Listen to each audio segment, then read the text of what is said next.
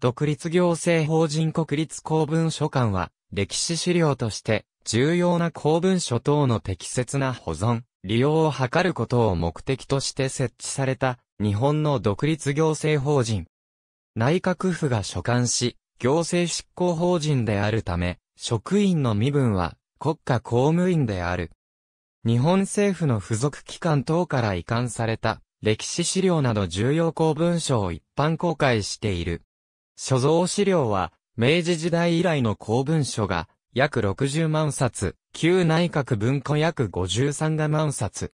公文書を閲覧できるように閲覧室に常設したり、常設展や企画展にて公開したりしている。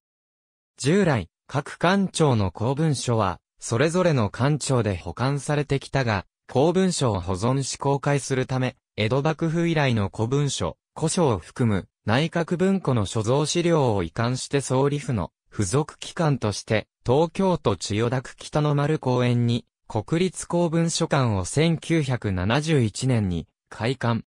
文館国立公文書館法に基づき2001年に独立行政法人化。行政執行法人であるため、職員の身分は国家公務員となっている。公文書の収集、管理体制が諸外国に比べて遅れていることが指摘されてきたため、2007年12月、政府では体制を強化し、将来的に公文書館を独立行政法人から国の機関に戻す方針を発表した。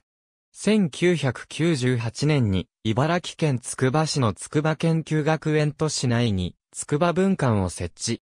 2001年には館の組織としてアジア歴史資料センターが開設された。同センターはデジタルアーカイブとしてインターネットなどを通じて、アジア歴史資料を提供することを目的としているため、閲覧室は設けていない。2016年5月26日の衆議院議員、運営委員会小委員会で、新国立公文書館として、県政記念館の敷地に建設することを決定した。